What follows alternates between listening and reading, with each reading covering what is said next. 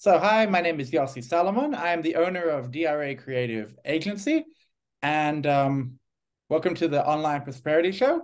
Today, we're going to talk about how I became a graphic designer, why I'm a graphic designer, and how it can help you and how I can help you make your dreams and imagination come true. So, buckle in, it's going to be a ride.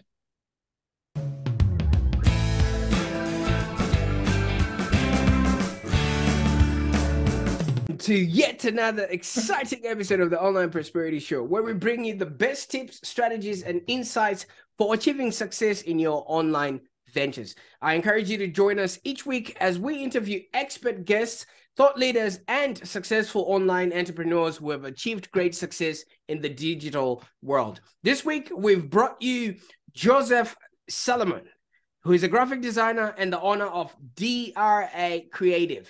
Joseph, how are you doing today? I'm good, Prosper. Thank you for having me. It's a pleasure to be on here. Fantastic. Now, for those that are watching this for the first time, uh, Joseph is the owner of DRA Creative, which is a boutique design agency based here in Melbourne. Now, he's got a degree in visual communications and design from Deakin University, and Joseph is passionate about creativity and innovation, and he's actually worked with clients ranging from the Queensland government to worldwide campaigns um, like Light for Peace. He's an avid gamer himself, a sports enthusiast, and an outdoor adventurer who knows how to balance work and life. So we caught him while he was in the middle of his play and we just want to ask him a few questions about um you know how he got started with his business now josie um joseph i'm going to be calling you yossi as we uh move forward because i think that's an easier way to get acquainted to you now tell me a little bit about your business and how you actually um you know got started as a graphic designer Sure. So I was quite young. Um, I don't know. People have those dreams where they become they know right when they're from school, they know what they're going to be, and that was I was one of them, luckily or unluckily, you know, who knows. But the moment's luckily. Um, so I saw these ads that were different in a way that they were very like movie posters, for example. They were called parody art. That's what I understood it to be. And they were advertising different events at my school. And I thought that's pretty cool. Like you can bring the two concepts together. And from that, that grew an appreciation for me to make flyers, advertisements for my school social events.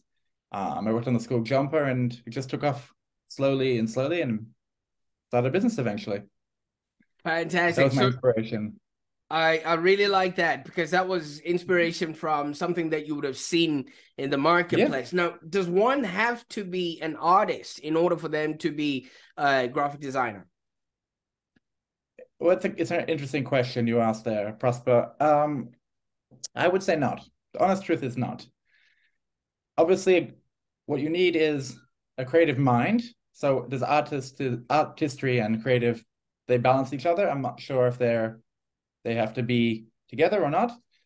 But overall, I would say the creative mind is the most important thing to be a graphic designer. You need to have a way a way of thinking. You have to be creative in thinking. And if you're not good at art, which I'm not so good at drawing on pencil and using a Wacom tablet, but my creative skills on a computer and my therefore my graphic skills complement that.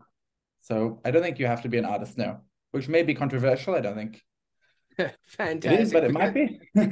because some people might just be thinking, oh, maybe you need to have some sort of um, you know, artist eye or brain in order for you to actually um do a bit of graphic design work. Now, you came from designing school jumpers and looking at mm-hmm. ads on TV. What then inspired you to start your own agency? So I realized that that was something I wanted to pursue. As I explained, I went to, I'd studied already. So I wanted now to explore that. What exactly does that mean? Does that mean I work for somebody else? Does that mean I um, go to university? How? What is the next step here? And I realized that in order to do that, I needed some guidance, some mentorship, because I realized that when I went to university, I told this to somebody recently, that university is like unemployment, except your parents are proud of you. You don't really learn much from university. so I realized I was up the creek, basically, without a paddle. And I reached out to somebody I knew who was a graphic designer who was running a small freelance on the side business. And I approached him and asked him, would you be interested in maybe doing a small partnership, working out logistics of the of the business? And he was quite keen, and I thought that we complemented each other at the time. And that led to my entrepreneurship that I was actually studying whilst working in the business. I was doing half and half, full-time studying and working in my graphic design business or graphic design agency. And then that's probably like what's the story that took off. Fantastic. I like how you say that, you know, being at university is just uh, similar to unemployment, but your parents are proud of you. That is quite funny. And, um, you know, for, for those people that are. I knew you'd like that, Prosper. Sorry? I knew you'd like that. Oh, absolutely. Absolutely. I'm definitely going to be using that because it, it really does solidify and really embody the 100%. whole concept. Because, yeah, you're literally not, you know, contributing that much. And yeah. um, yeah, fantastic. And you have to come no. with the skills as well because otherwise you, you you have nothing to show really. You just have a nice degree, which is un- like unemployment, but your parents are happy. Good on you. I should be a comedian. Yeah. I oh, I was I was about to say, you know, and if you and if you want somebody to design the flyers, I know a guy. Yes. Well done. We got there. so, I mean, obviously, with everything else that's happening in your, um, mm-hmm. you know, business right now, what are some of the challenges that you face on a day-to-day basis as a graphic designer and maybe a business owner? And how do you actually, you know, obviously stay motivated and focused on creating the best work that you've been doing so far? Well, I've been struggling with this currently because um, I took a, like a break when my daughter was born. I just had a daughter about a year ago. And obviously being motivated comes with the challenges because now I have to focus on her, I have to focus on my wife and my family. So when do I have time? And the time that I have, am I able to sit down on my computer and work? So I've been struggling with this. And I found that you definitely have to make time, schedule in time, because otherwise, if it's not scheduled or you don't have your goal mindset, it's not going to be done. You just play, watch some reels on Facebook or some YouTube videos, and that's really addictive in itself. So you're not going to get anywhere. The computer is its worst enemy. And what I realized was that, I spoke to someone about this as well, is that you have goals that you set for the day, or uh, like a task, a list of tasks, and if you and you say you complete two of those, and that's a guarantee, regardless of the day, you have to complete two of those. That gives you motivation, that gives you inspiration, and the desire and the passion to do it yourself, which can lack when you're not obviously um, when you're at home and not in an office space by yourself obviously being in office space would make it more motivational. And in terms of um, the day-to-day challenges in the business and in graphic design, obviously you're familiar with AI. Everyone thinks that AI can do everything. AI doesn't give you a personal touch, no matter what. Um, you can maybe make an AI for that personal touch, but at the end of the day, that personal lacking feeling, it's lost. There's no, there's no, um, I guess there's no, there's no face to it. It just feels like a robot wrote it. It feels like a robot created this. I can make an elephant in a Coke, drinking Coca-Cola bottle with sunglasses on and it look really good, but it doesn't really represent my brand because you need a person. A person can never be replaced. It's impossible to. Um, but the challenges are that you have Canva, you have you have AI, you have ChatGPT, all these things that are trying to replace human agency feel, and it definitely isn't. People think that they can do it. They can go to these places and get the same result when they can't. I'm not saying that it doesn't help them. It does complement what they do, and it does complement graphic designers as well. I think it's an it's naive to say that tools that help people design things um, do not are a enemy, so to speak, to graphic designers and agencies because it's not the case. Agencies should learn how to use these tools that people are using for their benefit. Um, and I think that's a hundred percent thing that we need to do. A technology is only is great and it can be used well for you, for the agency, for the customer, but at the same time, obviously, you have there now that you are thinking that people are saying that what you're creating is not worth the time, not worth the effort, not worth the money. And that's again not true because when you go to like a doctor, right, you don't second guess and call all the doctors in, in the graphic in sorry, you don't call the doctors and surgeons saying, is this what the best price? Are you going to cut my limb here? Or you cut my limb there? Or are you going to no you just you have a doctor you have a specialist you just trust him you he knows what he's going to do because he knows that the best for you. But with a graphic designer, some reason there's some disconnect where you have to run a competition, for example, on 99 designs, and may the best person win if they're the cheapest, which is totally against what I what I stand for. So these are some of the challenges that we face in the design world, I believe. And at the end of the day, we're designing something that doesn't exist, which is also another challenge because it's perspective, it's subjective to people's needs. So if you don't like it, well, I did it what you wanted. So are you gonna pay for it? Not gonna pay for it? Gonna give half price? Like it's a, it's a it's a ball that can be tossed up to the air. The the challenges could go on personally, but the benefits obviously outweigh it because I love doing what I do, and that's the passion that brings every day. I love connecting with people, helping them bring their their dreams to life. Absolutely. And um, I do value the work that you're putting out there in the marketplace. And you're absolutely right. Yes, AI is coming, um, you know, and people are just jumping onto that bandwagon, but it only amplifies something that is already beautiful, something that already has a fundamental foundation, not necessarily, you know, just jumping on and, um, you know, trying to create something that doesn't quite exist. Now that you are obviously distinguishing your work from, um, you know, a, a, an artificially intelligent generated sort of piece of, um, you know, uh, product, can you just walk us through your personal design process that actually has the personal touch? Um, you know, maybe yep. from initial concept to final product, because you did mention that you are, ex- you know, designing something that actually doesn't exist. Sure. So obviously I want to go for people who are interested in the work, who need work done. So I'll give an example for a logo design. I potentially would meet them. Now it can be face-to-face and it can be on Zoom. And I don't think that Zoom, as you can see here, doesn't really take away from the personal feel and touch. And I tell that to clients overseas, I tell that to clients in interstate, and they say, mate, I want to see you, right? I want to um, I want to meet with you. So I say, great, we'll meet on Zoom. So we said, no, I want to meet you in person. So I tell them, you know, the difference is you just can't touch me. And I don't think you want to touch me. I mean, I don't want you to touch me. So why, like, why we need to meet on Zoom? Well, why can't we meet on Zoom? It's beneficial to you. You, I mean, yes, there is a feeling to getting the air that we breathe each other and all the coffee. And it's nice. It's very nice. But at the end of the day, it's not always suitable. And we live in a digital world. COVID has progressed that to far extremes and for the better, I think, overall. So we can meet on Zoom and we don't have to be, I don't have to fly to Sydney just have a meeting. I think that's pretty practical. Save money there. You save money meeting me. It's a win-win. And so that's the first step, meeting with the client. And I understand that. And I think with AI also, you don't get that meeting. You don't get that, you don't speak to them. You just put in a bit a bunch of words and then Bob's your uncle, right?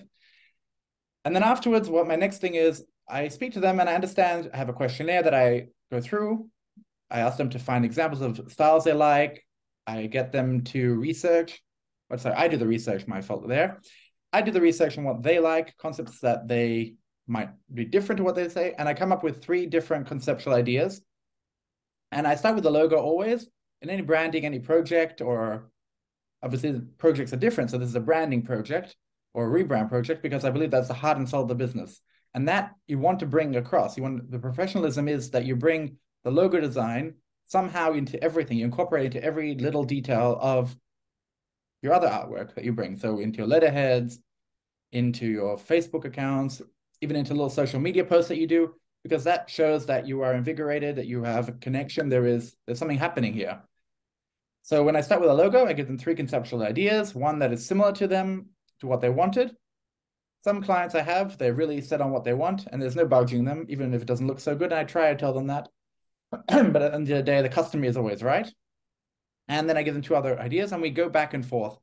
And the reason I go back and forth is because I want to perfect the idea, I want to perfect the design that they're they're um that I'm creating for them. I want them to have something that they're really happy with at the end of the day, regardless if it's a back and forth hundred times or so. And some people might find that again controversial. They want to charge royalties for it at the end of the day. And I don't think that's a good idea because I feel it's old school. And again, that's controversial, but that's my opinion. That's how I work. I want the I think that if a customer is happy, why am I holding him ransom with a with a um, with the files. He can use them whenever he wants. That way, he's using them. He's happy. My artwork is out there, which is like what I want. I want him to be happy. I want the artwork to be out there. So I'm winning. I'm winning. Yes, I'll make as much money, but at the end of the day, it's not also about. It's not always about money. I didn't come in here just for money. It is a good in- incentive, but it's not the be all end all. Which is why when I work with clients and they say money might be an issue, I put them on payment plans or I just try and negotiate and budget with them because I don't really, that's not money is what I want them to be focused on. The value, what I progress, what I give to them is what I want them to be seen. And throughout the whole process, those revisions I give pretty much unlimited again, because although the project might take a long time, the end of the day, the result is what they want and they're happy. So that's a bit about my process. Absolutely. Obviously, and yes. no, that's why it does look like it is um um obviously um you know well thought out and everything else. And what sort of industries do you find um that you work best in? Sure. We just I was remembered of one point that I was going to tell you. And obviously with the challenges I mentioned before, you want to be as accommodat- accommodatable as possible because the moment you say no, or the moment you say this price is too much, you lose business, and that business is a loss to you. So all that effort you put into it, for those small little like back and forth, you've lost for no reason. Um, so what's your question again, Prosper? what sort of industries do you find um, yes. you know you getting a lot of success or work in? It's a good question. I've never like I didn't really look like jump into that idea or think about it too broadly because as I I think I've mentioned before, I don't niche. Um, I wanted to do that so I have a broad client base. So the dairy farmers, um, the supermarkets can come, the hospitality industry, the law firms, all different types. So I never, I don't think I have a real type of um, strong clientele. I guess non for profits are a good start because I do like to help them, and I think I work well with them because I understand where they're coming from. Startups are another one that I work well with because again I understand them. Um, I guess uh, more like um, retail is another one that kind of comes, and law firms somehow also quite interesting. Can be very dull work, but can be also very promising. But again, no real specifics there because it's not something that I really focused on. Fantastic. And you did mention that um, you know, you're creating something from scratch and mm-hmm. it's usually a matter of perspective that what the client sees is not exactly um, you know, what you have um, you know, envisioned or things of that nature. And I also come across a few designers that have this very problem where the client doesn't quite know exactly what it is that they want, but they will know it when they see it. So have you ever come across any particularly challenging project that you've worked on? And how did you sort of overcome any of the um, obje- uh, um, obstacles that you came across in it to achieve the success that you now have? Well that sounds like a job interview prosper. Are you hiring me? Yes of course. No there are definitely times where i've had clients who either don't like the design or they like it they want this idea done and vice versa and mostly the time that I spend is just going back and forth and trying to come up with their idea that they want. Clients are very black and white, and the clients are very just like airy fairy, and you don't know where they're going to stand in that spectrum.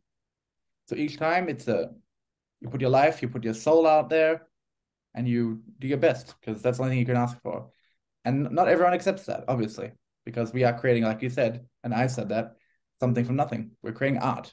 We're not great. We can't. Do you think that everyone liked Picasso? No, not everyone liked Picasso. Not Everyone likes Leonardo da Vinci. People did weird things with art. So it's all about perspective there. I'm very subjective.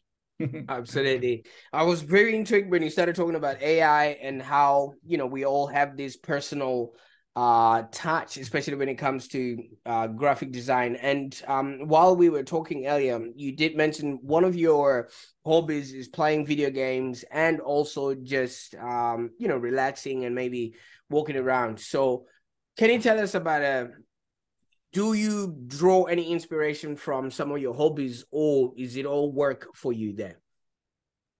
Are you saying like if I play games, do I get yes inspiration from it?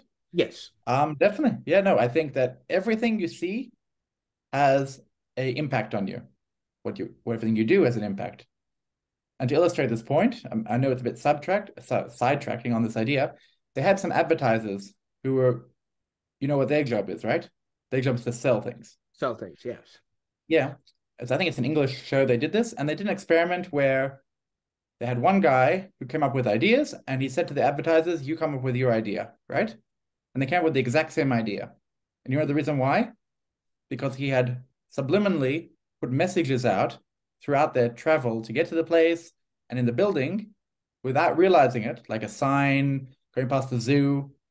It was it was like an animal for zoos or something, and it was almost identical. Each one it was like a magic trick in a way, but it wasn't because we as human beings we see everything and it impacts us all.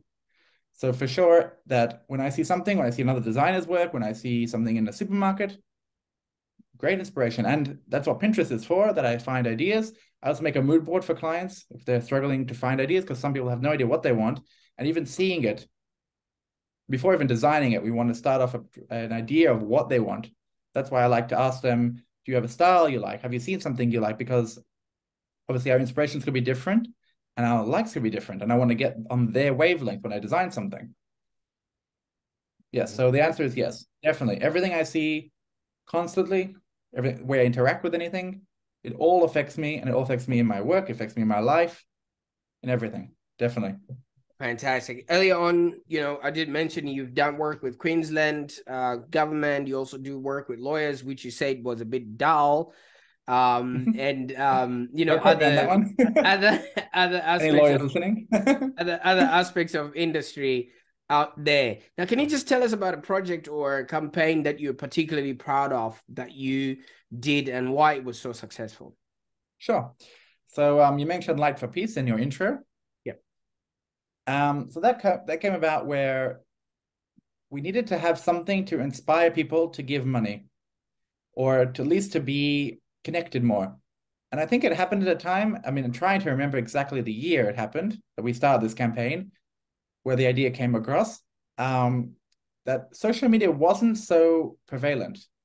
So it was quite unique and quite um, a new idea, in, if essence. That I don't remember, or at least not at that time, campaigns like it. So that quite makes it special in itself. And the idea was that um, we have a Jewish festival called Hanukkah, if you can say it. Can you say that, Prosper? Hanukkah. Hanukkah, yeah. That's perfect because most people can't say that. You know, it's the famous thing, Hanukkah. right? Yeah. Hanukkah, and that's all about bringing promote promote. Sorry, it's all about promoting peace, promoting light amongst the nations, that everyone is at peace. Um, so we wanted to incorporate that idea with people lighting their candelabra. We call it menorah. That's the Jewish word for it. And on we have, we have a lot of eight days. So you have Christmas, and you have one day of presents. We get eight day of presents. Mm. It's eight days, not one day. It's around the same time. And maybe you have, do you celebrate Kwanzaa? Uh just I think just Christmas on my part. All right, fair enough. We can't we can do Chrismukkah, we can do all the different Thanksgiving, all the different types of mixed hybrids between the festivals. And um it was during this festival that we wanted to create this idea. Um and we wanted to raise money for the soldiers in overseas. So if you took a photo with your menorah, then you, your money would be given by obviously a donor. Each time a photo was taken, money would be given by a donor to give to the soldiers to give them winter coats and to help them with the war efforts. And it went off like wildfire. It went off in America, went off in Australia, went off in Russia. There was a copycat even of this idea. It came in like five different languages. It was completely like it wasn't just like me designing a logo, which was a we designed a logo, we designed social media posts, we designed flyers, um, we designed stickers, banners, and so forth, and websites. It wasn't just that; there was all incorporating. It was a great project. It was a great campaign. It ran for many years. It was. I felt proud to be part of it for all those reasons that I mentioned. Fantastic. I mean, obviously, if you're doing something wonderful for other people, obviously, it does make you feel uh, fulfilled. Sure. So, and thanks for sharing that with me. Now, finally, I really gotta ask. Now, what was it like riding an ostrich in South Africa, and how did you end up doing it? How did I end up doing it? Yeah, well, I mean, I like trying new things. I try try finding new ideas. So, I've ridden a horse. I've ridden a camel. I don't know what other animals I've ridden. I think that's all, but maybe I've ridden something else. And I, I knew that we can write ostriches in South Africa. And I was actually doing my rabbinical studies in South Africa. And we had had a break off for a few weeks or a few days, actually. I don't remember which break we had. And we were driving towards Cape Town. And Cape Town's beautiful, as you know, or may, may know. And they have ostrich farm there, and you could ride it, which I couldn't say no to that, right? You know, you have to try it. Yeah. And I also rode an elephant in India, so now that reminds me of it. Fantastic. So, now, four different animals that I know, which are less than usual ones, right? oh, good. Oh, good there, Yossi. Now, um, if people are obviously intrigued about you and want to know more about, you know, how you can help them on their journey to creating uh, maybe a lasting impact with their businesses through graphic mm-hmm. design, what would be the best way to get a hold of you? The best way to be to get a hold of me would be on my website www.d-ra create it sorry d-ra.agency or my mobile number 0435 251 585 always happy to chat always happy to talk about anything you want. Really, really open and really warm to discuss. Absolutely. So please don't hesitate I'll, to call. I will also or, or, website or social media as well. Any of the social media links as well would be great. Definitely. If you search Creative, it should come up. Great stuff. I will put your um, LinkedIn and um, your website credentials. Yeah, my Facebook, Instagram. Yeah, Cool. Now, definitely. Thank you. last, last but not least, Yossi, what sort of advice would you um, give to any sort of aspiring graphic designers out there who are just maybe starting out in their field? I'd say find another field because there's way too much competition. But if you're really, de- it's the truth. As I told you, those challenges are just getting bigger. Um, and yes, there'll always be need for graphic designer, but print is obviously dying out in a way. So, and it's becoming also very, very much um, diversified. So you have social media, which is now a separate role in itself. You have a brand guide designer, um, so many different, you have an animation video, UX, UA, UI, you can name things. So if you're just going for graphic design, I would say try not to. Try to specialize in something now. Because when I was doing it, even then it was already diversified as like when I was studying but it wasn't as diversified as now. Now it's just off the charts. You have to be specialized in in SEO, marketing, Google, in that de- sorry, in that department. Um, UI, UX. So, um, but if you're really gung ho being a graphic designer and you just want to be known as a graphic designer, well then, good luck. Fantastic. well, you'll see. help there. Absolutely. see. I really thank you for your time today and sharing with us your journey, um, you know, from how you got started and um, where you are right now. Okay.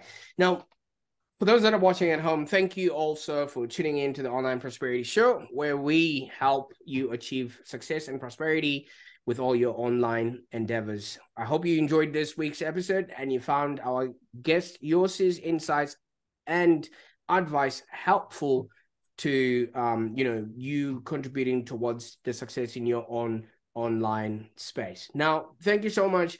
Uh, bye for now